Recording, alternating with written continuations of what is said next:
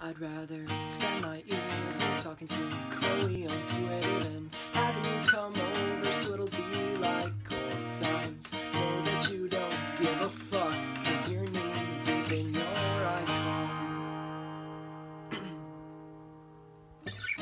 but now that you saw my tweets, you know that I'm home, buried in my cell phone, trying to get a hold of someone new instead of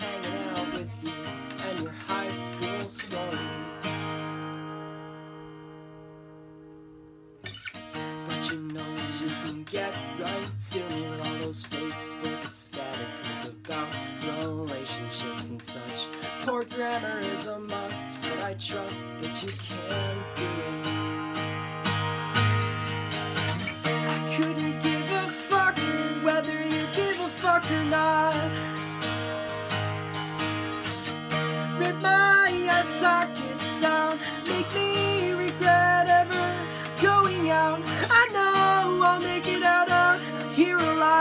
as long as I don't watch your life unfold before my very eyes.